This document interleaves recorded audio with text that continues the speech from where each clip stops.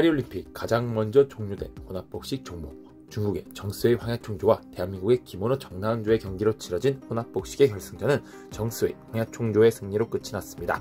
극적 분위기 반전으로 결승에 진출했기에 어쩌면 이라고 생각했던 발언과는 달리 일방적인 분위기로 흘러가며 다소 무기력하게 패했던 김원호 정나은조 이 경기를 보면서 여러분들은 어떤 생각을 하셨나요?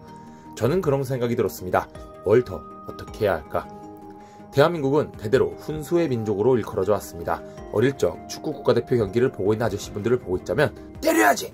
때려야지! 라는 단어를 자주 꺼내는데요. 너무 이상적인 가정이라 그렇지 보통 그 상황은 진짜로 때리면 되는 상황이긴 했습니다.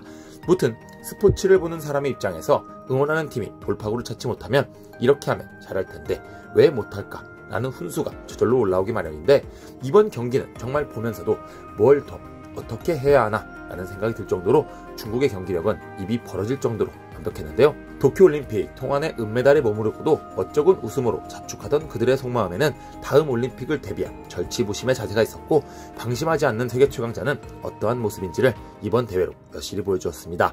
김원호 정나운조에게는 다소 잔혹하지만 그야말로 만리장성의 높음을 실감했으리라 생각됩니다. 한수 위임을 인정하면서도 그간 다소 대등한 상대 전적을 형성하며 쌓아온 데이터를 기반으로 비범하게 임했을 결승전에서 이러한 큰 차이를 보였으니 말이죠. 하지만 이 경기가 그들을 더욱 강하게 만들리라 생각됩니다. 도쿄올림픽 은메달 이후 더욱 강해진 정스의 황야총조처럼 김원우 정나운조 또한 이번 은메달이 새로운 출발이 되리라 그렇게 생각해 봅니다.